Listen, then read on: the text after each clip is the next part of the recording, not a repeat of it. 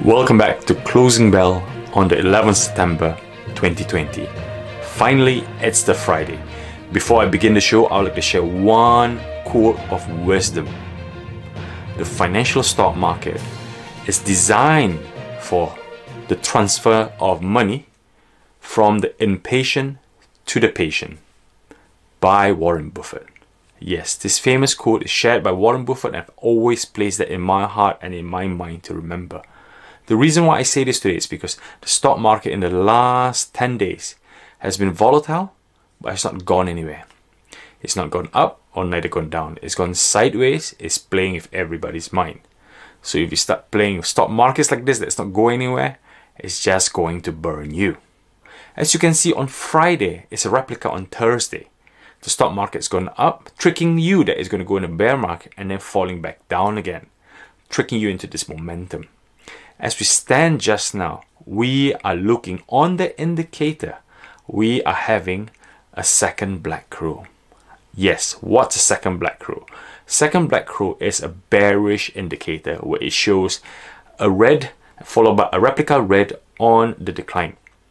And if a third one shows up, it's a very, very strong, very strong indicator that it's going to go on a decline. And one thing I would like to bring up is this chart here, which I've used my Fibonacci retracement on the NASDAQ or the Tech 100 US. As you can see, it's pretty scary here. As you can see, I've plotted from the top height all the way to the lowest at COVID-19 back in March. As you can see, 0 to 100%. As you can see, for some bizarre coincidence, there's a line drawn that we currently are sitting at the very resistive supportive floor here. And it's either going to go up or go down, but it looks like there's a lot of resistance, a lot of a lot of uh, short sellers are trying to pull it down, are trying to create a bearish trend, trying to pull it down. So follow on next week, depending on the sentiment, if it comes down again, it will most likely break the floor and then we will hit we will be going on the way down to the next slowdown. So it shows that there might be a big sell-off. I'm sorry to be always selling that there's a market sell-off, but these are the indicator that's shown.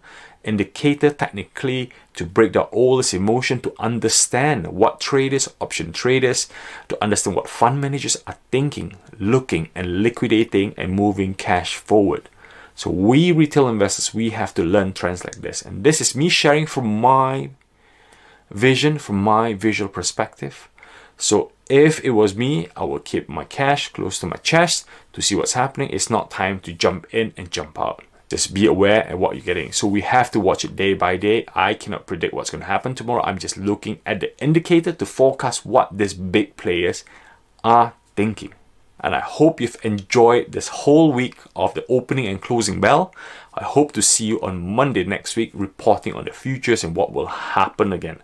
So please do leave comments below and also subscribe to my channel that I will share different wisdom, with different technical analysis and different um, topics that I can think about. I've got a long list written on my board here and I hope to share that with everyone very very soon. So thank you for the support. I really appreciate this and hope to see you next week.